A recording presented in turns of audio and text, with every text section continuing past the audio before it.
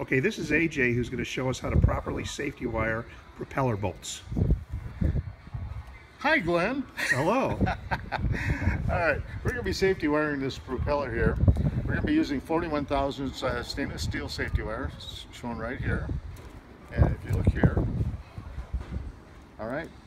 Uh, what we're going to do first is measure the amount of safety wire we're going to need. So we're going to turn this this way so that we get an approximate length and then we'll cut our safety wire right here.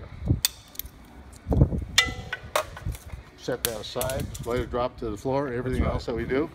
Then you're going to take a look at it and you're going to plan how you're going to run your safety wire. You always want to run your safety wire in the direction of the, the way the prop has to be turned in order, the bolt has to be turned in order to tighten. So if I'm going to be using this bolt right here, I'm going to take a safety wire, I'm going to say, okay, I'm going to go this way, around to here, through here, and that will be the clamp. So what I'm doing here is I'm going to thread the safety wire through this bolt. I'm going to leave a little bit extra here. Actually, I got to do this a little bit different. Okay, I'm going to go this way bring it around, make sure I've got plenty of safety wire to get all the way around, and I don't, so I'm going to adjust. Make sure I got plenty of safety wire. Okay, so there I am there. We'll fold this underneath and pull that pretty tight. Pull the, the tag end, which you see down here, pretty tight. And just to make a, a first twist on there. Okay, then I'm going to come up here this is my entry hole for this bolt. So I go up here and I say, okay, this is where I'm going to put my pliers, eh, my safety wire pliers, right there, lock them, and then pull, pull this real nice and tight so that this wire is going to be real nice and tight, and then start twisting.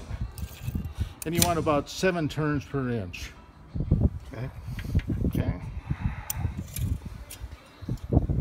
Now this is just right. The tag end is just right. So now I'm going to uh, make sure. Okay, get over on this side.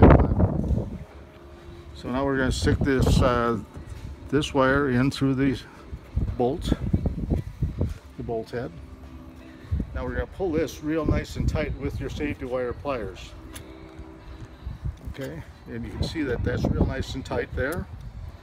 Then you bring this tag end around and again pull this real nice and tight.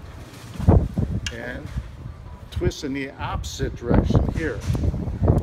If you don't twist in the opposite direction what's going to happen if you twist uh, clockwise which is the way your safety wires are are set up you're going to pull this this uh, tag end right off the bolt. So you always want to make sure that you're you're going to be twisting this final twist in the opposite direction.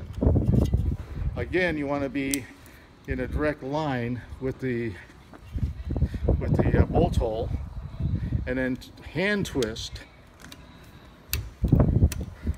for your pigtail right here. Okay? And I, I use more than seven turns inch on this. And there you are. It's all set to go. All we have to do is cut it right here.